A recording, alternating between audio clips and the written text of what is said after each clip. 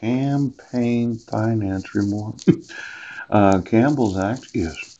Lord Campbell, nope. it must be in here someplace. Right. hmm Campaign. Uh huh. Now, I do not see it. No. Campaign. Um, let me go back to McCain Feingold. Yes. mhm. Maybe I'm not spelling it right. Now, when I go through the actual training of all those involved in politics in the United States of America, yeah. mm-hmm, mm-hmm.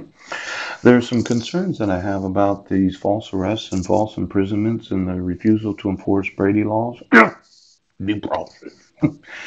As if you're just going to continue to deny me the right to run for office or to start a new political party. Now, um, McCain, McCain, uh, it looks like a going to malicious motive, malicious prosecution. We looked at that. Vindictive court proceeding. Malice on the part of police and sheriff's departments. a malicious act, a malicious arrest. the malicious damage and the malicious mischief of refusing to acknowledge my rights as a citizen of the United States of America. Now I'm just looking for that McCain Feingold Act again. It seemed that somebody had recently retired these uh, ex politicians. Yes. I thought I'd get with the 33 longest serving senators in the United States of America.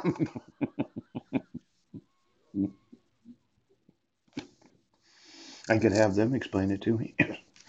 Some vice presidents that had been vice presidents that are now very involved in global warming.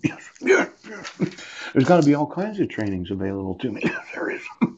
You know, when you're wanting to start a new party, you're wanting to compete against the Democrats and Republicans. Isn't the thing to do is to go through the actual training that they give to those that are on their party list? Yeah.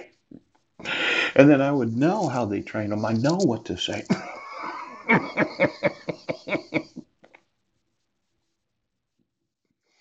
See, I'm wanting to win that Congressional Medal of Honor today. The thought is Congress is going to be so happy that I started a new national party to compete against the Republicans and the Democrats that I'm going to win a Congressional Gold Medal for the idea. See, I was looking in the encyclopedia. No, the malice or fact.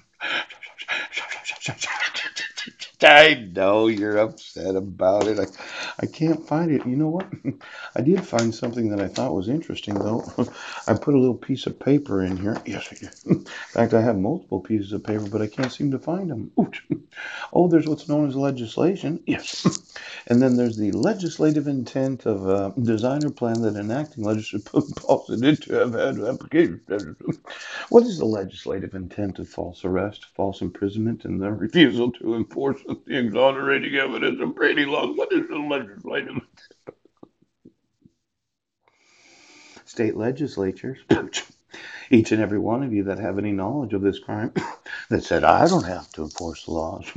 I'm kind of thinking that each state of the United States needs to kind of divvy up the houses a third, a third, a third. And then some governors, they're citizens, some are Democrats, some are Republicans. I know you're upset about it, but when nobody in the United States enforces the laws, yes. See, this is something that I just found out about.